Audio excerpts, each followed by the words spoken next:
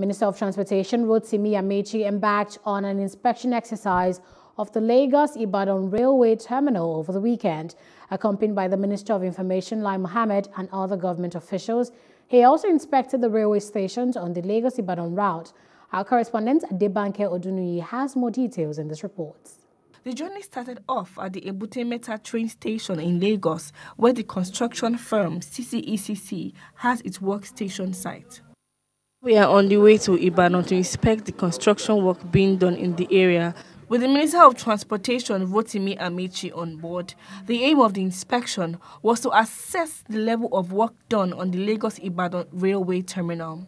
He was joined by other officials, including the Minister of Information and Culture, Lai Mohammed, who, along with the Nigerian Railway Corporation boss, expressed thoughts on the work done so far. When I got into the train this morning, especially this one, I, I, it's as clean, as modern, as any coach anywhere in the world. And I was also quite impressed with the passion of the Honorable Minister. You can see that at every point in time, he is pushing the contractors. Saying, look, I can't wait till October. I'll come back in four weeks' time. Because we want to be able to deliver to Nigerians this kind of infrastructure.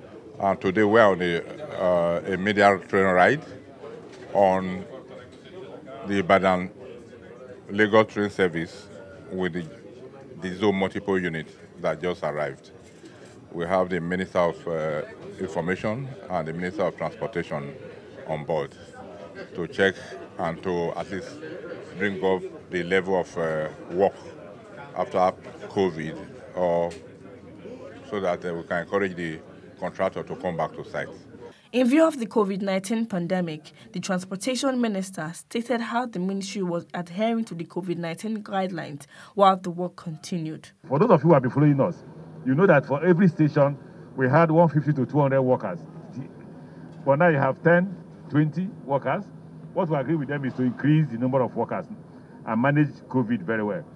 And what did we agree with them? They should come with their face mask, face shield, and come to work. Because like we also agree with them, it appears, I'm not a doctor, I'm not a scientist, that COVID has come to stay. So let's hope that by January this, this thing will be ready.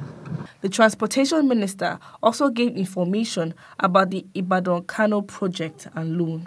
So when we talked to the National Assembly to stop this their investigation of loan, not they're not investigating corruption in construction. It's the issue of loan. What we meant is that they should please allow us get the loan for uh, Ibadan to Kano, which is about 5.3 billion dollars. Because if you're telling the man who lent you money that you don't like the way he lent you money, he won't lend you any further. That's the point. But for this one, we have 1.6 billion, for which we're contributing about between two and 300 million dollars. But don't forget, they have not finished paying. They could stop at any time.